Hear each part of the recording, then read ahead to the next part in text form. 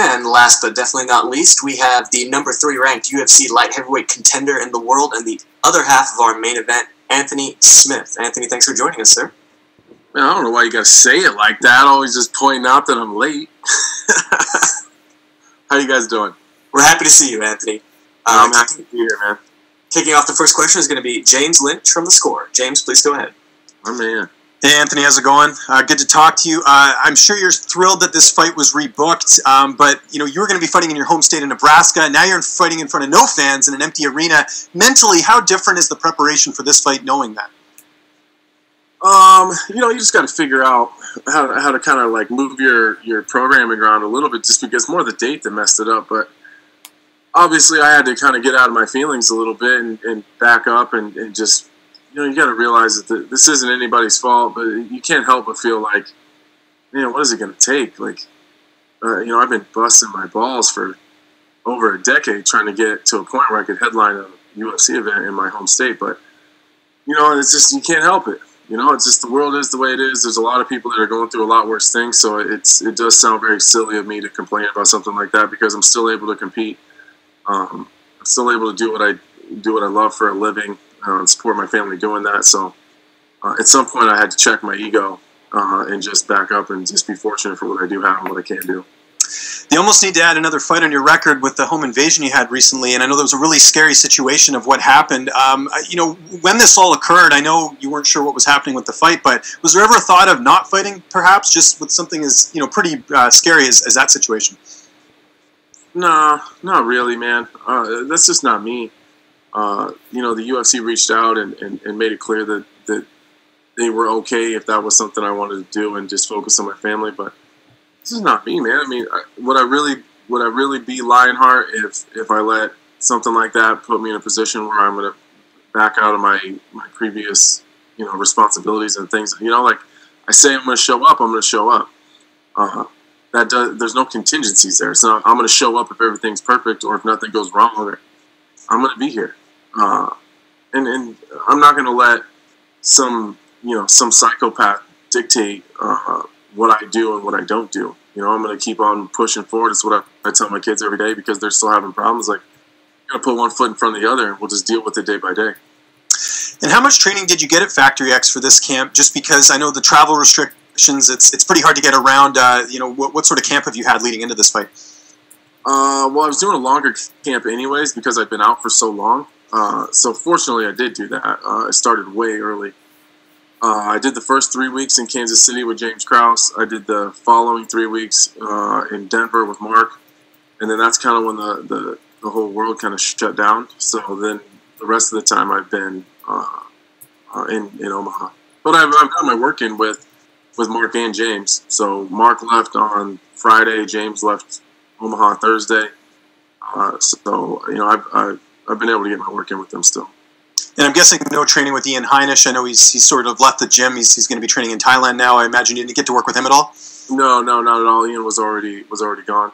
Okay, gotcha. And last question, uh, you know, big fight, main event. Um, you know, Glover's a really, you know, he's a tough guy to finish, but obviously the landscape of the division right now. Do you feel like a finish would sort of put you in that mix right now because it's obviously very crowded at the top, uh, you know, outside of Jon Jones?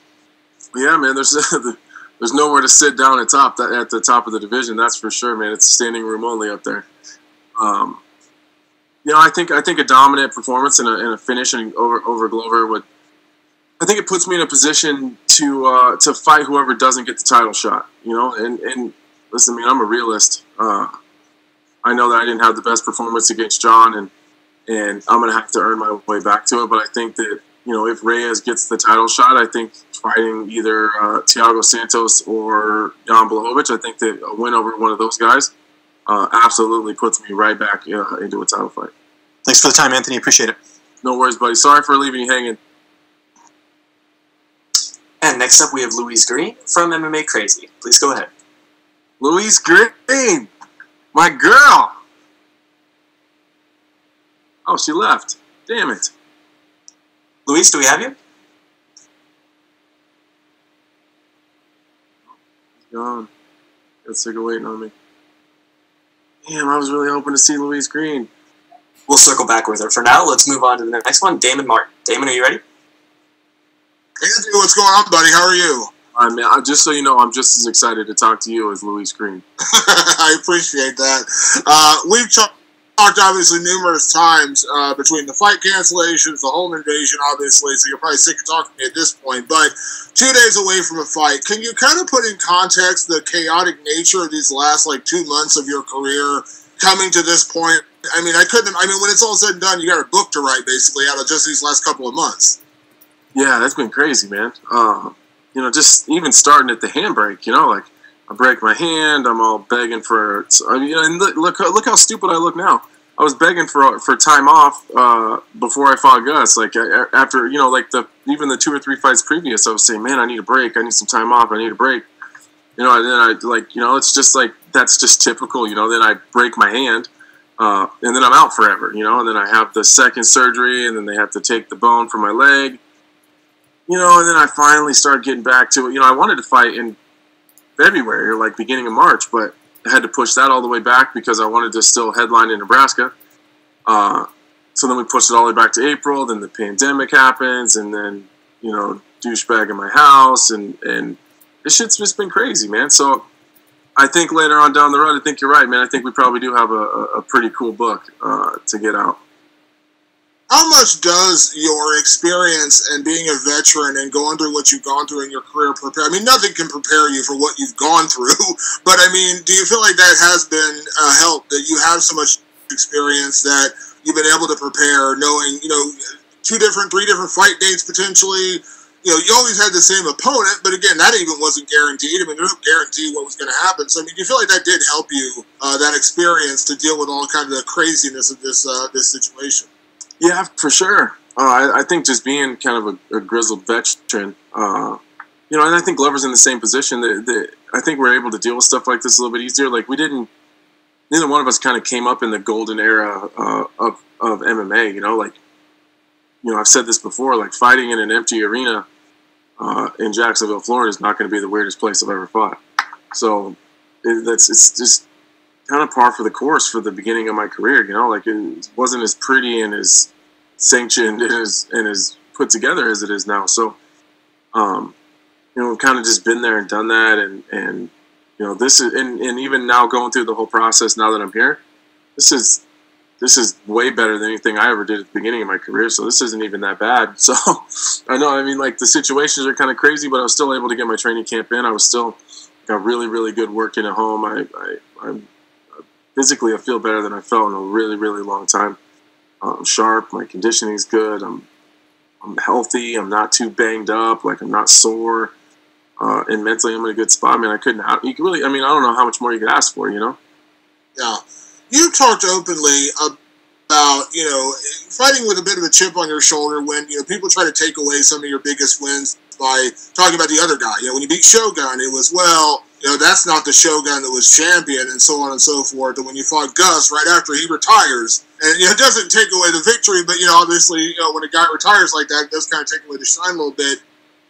Uh, Glover's a guy who's a veteran, fought for the title, and obviously been out there. But in a way, do you do you kind of in a way do you kind of enjoy having that chip on your shoulder because it seems like you're always out there with something to prove. Yeah, you know, I think I've always kind of fought like that, you know, and and I think it's I, I don't I don't drink my own I don't drink my own Kool Aid, you know, like I don't believe my own hype. So I think a lot of it is I'm always trying to prove something to myself. Uh, you know, like I think sometimes, it, to be honest with you, there's, there's, a lot of times where I kind of feel like I don't belong. You know, like I, I, just sometimes it's shocking that I'm still here or that I've made it to this point. So it's it's always that, but it, it, it leaves me with this feeling of, of, of having to grind and continue to earn it and continue to push forward because I I shouldn't be here. You know, I, I, shouldn't be in this position. I'm a small town Nebraska dude that didn't have shit going for him, and I, I didn't even graduate high school. You know, like what what sometimes it's like, what the fuck am I doing here? So I need to keep earning that and keep working towards that and keep making sure that that no one's going to take that from me. So I think that that's where the chip comes from. Um, making sure that I'm doing everything to stay here. And my last question, Anthony.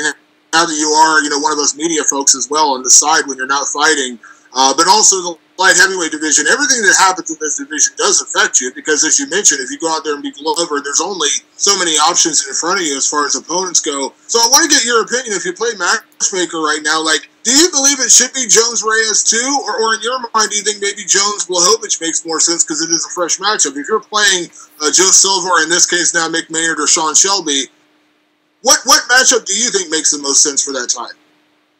Um, you know, I guess for me, uh, when it, when you when you start talking about what makes sense, uh, I don't really know what makes more what, what makes sense because I guess I'm not the the UFC, so I don't know like financially what does that look like, timeline what does that look like. Like I think there's a lot of things that go into that.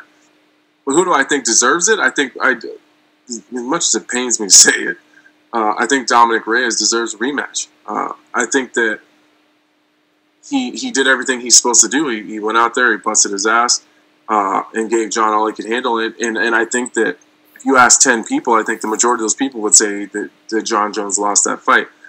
Um, on the flip side of that, you know, I, I, I think Jan Blachowicz equally, well, maybe not equally, but he, he also deserves a title shot, you know. But I just, I think Reyes' claim to it is a little bit stronger, you know. Like, Blachowicz has a win over Rockhold, you know, like Rockhold hasn't won since half, you know, like there's 25ers in the division that haven't ever seen Luke Rockhold win a fight before. So it's been a while since that guy's done that. Um, you know, and, and, and, he, and he lost to Thiago Santos, who's also floating around up there. So uh, he does have a good win over Corey Anderson. I will give him that. But uh, I think the way that Reyes went in there and did what he did, I think that he he had something stolen from him uh, by the commission. You know, and I think that he at least deserves the opportunity to right that wrong. And, and I also don't think that he will win the rematch. Uh, I think that was the best Dominick Reyes. I think that's all he has to offer. Uh, I think that's as good as it gets. Uh, and I think Jon Jones tends to do better uh, in rematches, and I don't think Reyes left anything in the tank for later. I think that I think he emptied the tank, and that's all he's got. Thanks, Anthony. Appreciate it as always. No worries. Stay in touch. And up next, we'll have Mike Bohn from Rolling Stone. Mike, please go ahead. Up, Anthony? How are you doing? I'm good, man. How are you? Um, well, thanks. Um, I'm interested to know. You just said uh, a few minutes ago there that you know you're feeling really good and everything. Everything can be you know going better. We spoke a couple weeks ago. You admitted you were feeling a little run down, a little beat up. At what point did you kind of turn the corner and start feeling you know really good again? Uh, when we started shortening the, the you know as you get to towards the end of a camp, um, all the meat and potatoes were like like right when I talked to you, we were like just getting towards the the end of like you know the suck when it's just really really tough and really hard and, and coaches are assholes and they don't give you a break and, and you just you know they're sitting over there that's why I said that. Uh, but I, I, was right in that suck you know where you just grinding and you got to put your head down and no one really cares how you feel. Then you start moving on to where you, the training sessions are a little bit shorter uh, not a whole lot, but a little bit. The contact uh, comes down a lot, so there's not as much impact. You're not, you know, not getting your legs banged up, and uh, so you just slowly start to heal, uh, and then the conditioning part of it ramps up. So you're doing a lot of conditioning stuff, a lot of fast pace, low impact uh, type of training. So then I just you just start to slowly heal, and that's kind of how the peaking process works. Gotcha. And you also said when we spoke that uh, you were going to submit Glover. That's what you're aiming for. No one has ever done that before. I asked him about it. He basically said, "Bring it on." Uh, you know, he welcomes that challenge. Do you still feel this close to the fight? That's how it ends. I mean, yeah, I think it can. Uh, don't think for a second that if I get a hold of Glover's neck, he won't go to sleep. Uh, and, and and obviously, uh, Glover and I have tremendous, tremendous respect for each other. But he jokes around, and you can see the smirk in his face when he's doing those interviews. He knows just as well as, as I do if he slips, I will catch him, and he knows that. Uh, we have mutual training partners. We have mutual friends. We know some of the same people. He knows it, and I know it. And uh, on the on the flip side of that, I know that if I slip, Glover can catch me. We're just two high level dudes. But uh, I mean, if I could, that would be a nice feather in my cap to be to be the first guy to get you know to catch him in a submission. Absolutely. And last question from me. Uh, you mentioned talking about the matchmaking of the division a little bit, a possibility of a Thiago Santos rematch. If you look at your Twitter profile, your pinned tweet is still the post fight from that night, February 3rd, 2018. Uh, is there something about that particular loss? Obviously, you, know, you moved up to light heavyweight since and everything, but that you still keep it on there to remind you of? And would there be something special to having that fight back? Yeah, yeah, that's, I mean, oh, man, I, you know, I guess to, the, to everyone else, Thiago's the, you know, he's the two headed fire breathing dragon, but uh, Thiago is like, I don't know, he's like my mirror, kind of. Uh, I, I, keep that tweet there because that was one of the lowest moments of my career, you know, I, I and I'm better than that. Uh, you know, there's circumstances and, and sometimes things just don't go your way. You know, it does it just doesn't. It just sometimes it just falls. The cards fall the other direction. So, uh, but that's absolutely a fight that I want, uh, and that's absolutely a fight that I don't think anyone else is asking for. So, I think that that's the that's going to be that that go back and look at my career when I got cut from the UFC in 2013. Um, my first fight outside of the UFC was Josh Neer. Uh, it was a catchweight of 175 uh, in the main event in VFC Council Bluffs, Iowa. Josh Neer finished me in the fourth round. Uh, I changed a whole lot of things. Uh, I focused on getting better. I changed my mindset. I won eight in a row uh, to get back to the UFC. And on the eighth fight, I capped it off and I finished Josh Neer in under a minute. So uh, that's that's how my brain works. Like I'll come back to that. You know what I mean? Like I'll I had the fight and it went the way that it went with Thiago, but I know that I'm better than that, and I know that I can beat him.